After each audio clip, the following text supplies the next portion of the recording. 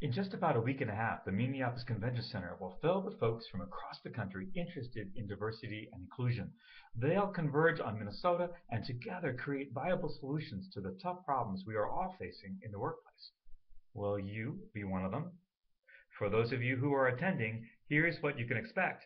For those of you who aren't coming, here's what you'll miss. Deep, rich conversation facilitated by D&I experts from across the country working with peers from across industries, co-creating solutions to difficult problems.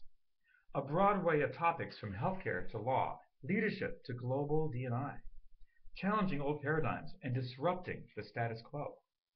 Career advancement opportunities in the Career Services Center, advancing ideas that can change the workplace. A robust career fair for planning your future.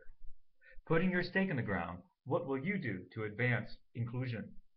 65 different concurrent sessions on topics you want to know about. Informative exhibits in the Resource Expo. Energizing keynote presenters. Learning the importance of why we need to speak business. Lively discussions with subject matter experts across multiple diversity topics. Engaging people, igniting change, leading with action. Learning from peer presenters. Multiple opportunities for networking. Wow, that is a lot. Now, for those of you who haven't registered yet, there is still time. This is your chance to shape the future of D&I.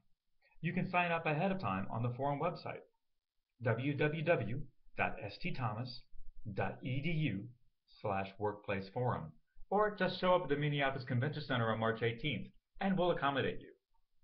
Minnesota in March is a wondrous time because the forum is coming to town. We look forward to having you with us to create the future inclusive workplace.